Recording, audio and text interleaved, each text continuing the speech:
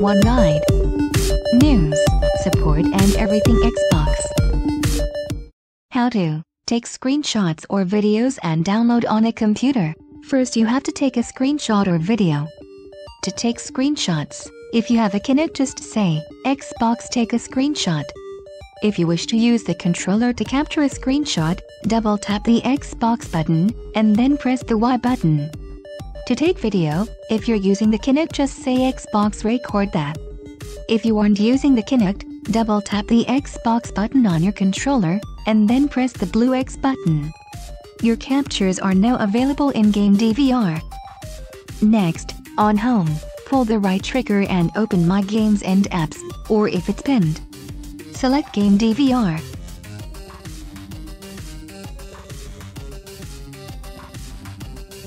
Scroll to select the screenshot or video you want to use.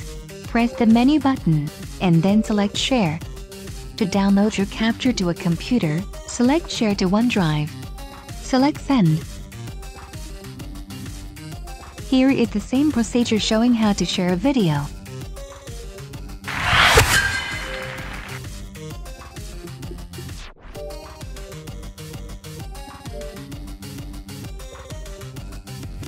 To download your capture head to your computer. Load your favorite web browser. Go to OneDrive.com. If it's your first time, just log in using the same email and password you used to log into your Xbox or Xbox Live account.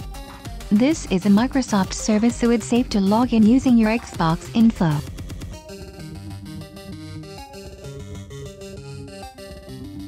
To download your video clip, go to the folder named Videos, then click the folder named Xbox Game DVR. Select the video you want to download. On the menu bar at the top of the web page, click Download. Depending on which browser you're using, you may have to select where you want to put the file on your computer or find the default download folder. Your screenshots are located in a different folder on OneDrive.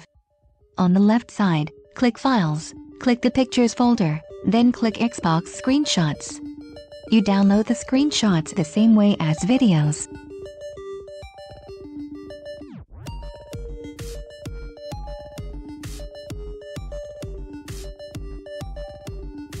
As you see here, I am able to view the screenshot that I downloaded to my computer as well as the video clip.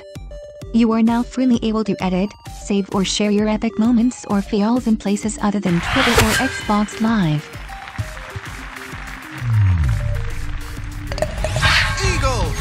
Yeah, baby, I did it! Thanks for watching. Please don't forget to like and subscribe.